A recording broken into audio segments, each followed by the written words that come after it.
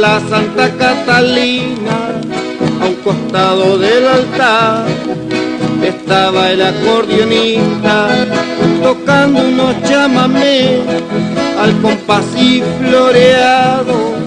De alegría no aguanté y le quité la dama al comisario mi ponchillo colorado se lo eché sobre la zanja y alrededor fue del altar. Le zapateé a la malezal a la Santa Catalina a un costado del altar. Estaba el acordeonista tocando unos chamamé al compás y floreado. De alegría no aguanté y le quité la dama al comisario mi ponchillo colorado se lo eché sobre la zanja y alrededor fue del altar. Le zapateé a la milicada entre el reventar de guinches y el aullar de la perrada. Y anterior de las mujeres que caían desmayadas conchazo a los candiles y gringos que disparaban voltearon el alambrado los montados asustados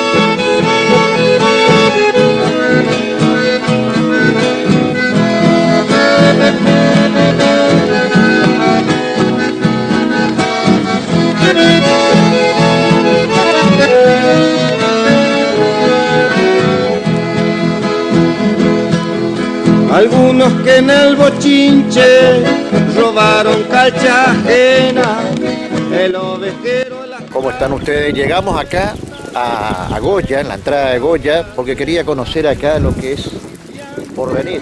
Se llama... Y estamos por entrar para mostrarle un poco de las imágenes de lo que podemos recorrer acá en, en este camino que es todo ripiado. Me acompaña Darío Acosta. Darío, mirá, me decían que este músico nació acá en este paraje, homenaje al cantante chamamecero, Mario Millán Medina. A fines de la década del 30, se traslada a Buenos Aires, donde es contratado por la prestigiosa Radio Belgrano. Paralelamente, realiza presentaciones junto a su compoblana Rosita Minué, la autora de la letra de Villanueva, bajo el rótulo de Los Trovadores de Itatí. Contratado por el sello RCA Víctor a partir de 1940, registra obras que se convertirán en clásicos del chamamé. El Recluta. Buena doña Gerundia, aquí me vengo para despedir.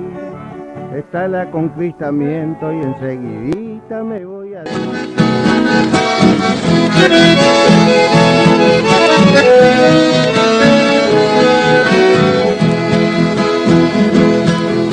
Algunos que en el bochinche robaron calcha ajena, el ovejero la estancia la robó, fue a la Bernabéu.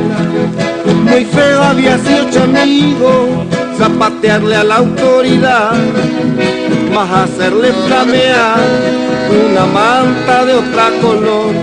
Mi ponchillo colorado se lo eché sobre la santa y alrededor fue del altar, le zapateé a la milicada entre el revés. que nos encontramos con un lugar hermoso, no hay un pueblito establecido, hay casas separadas. Y lo que nos llama la atención hay muchísimas casas antiguas, abandonadas. Recién preguntábamos acá y nos dijeron que una era un almacén viejo aparentemente era como una escuela, algo, pero poca gente, el lugar fantástico. Nosotros estamos metiendo, ¿no? Ya algunos kilómetros nos encontramos con una hermosa capilla ahí, que es la capilla de Itatí, aquí en el Porvenir. Esa que vemos ahí. Nosotros vamos a seguir recorriendo un poquito, mostrándole este lugar acá eh, paraje por venir acá en el departamento de Goya. Goya está cerquita acá, en la entrada de Goya prácticamente. Pero hermoso lugar.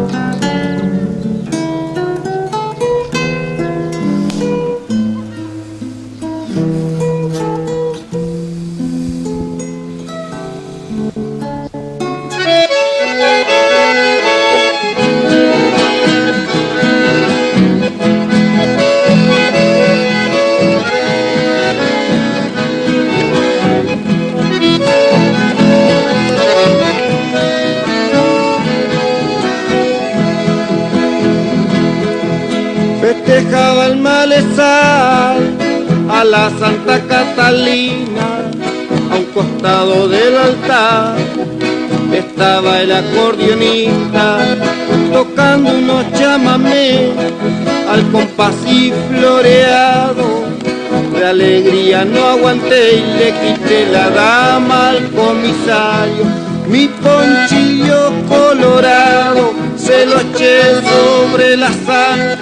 y alrededor fue del altar.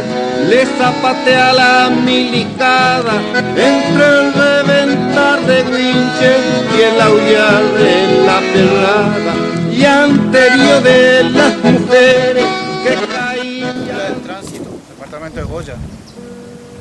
Esta vos venía acá, ¿no? Dos años estuve trabajando acá, con todos los caminos. Vos dijiste debe estar todo arenoso y mirá, Sí, no- sí, eso es lo que me sorprendió. No, nunca más viniste de esa nunca época. más, nunca más. ¿Vos entrabas en bicicleta de allá? En bicicleta de la ruta hasta acá y de acá hacia la ruta, los días viernes.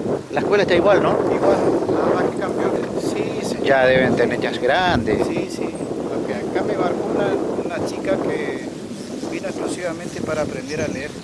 Eso es lo primero que me dijo la, la. Eh, Maestro, yo quiero aprender a leer. No le importaba otra materia, nada. él ya era media grande. y ya sabía, había salido de la escuela, pero no sabía leer. Bueno, entonces la tomé como alumna eh, Tipo particular. particular, claro. Ella asistía como todos los alumnos, pero eh, exclusivamente para aprender a leer. Y así lo logró. Qué O sea, bueno, ¿eh? Ella tenía mucha, también ponía muchas ganas de, de ap- de aprender.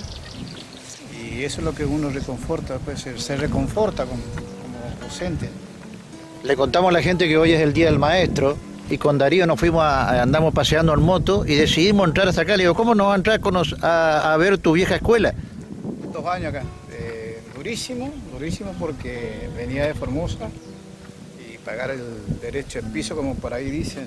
Bueno, quedé acá Ajá. dos años hasta que cumplí y pedí traslado a esquina. Ahí fui a la Rosera Popelga, que también tengo muy buenos recuerdos. la- Pero acá yo vivía en la escuela.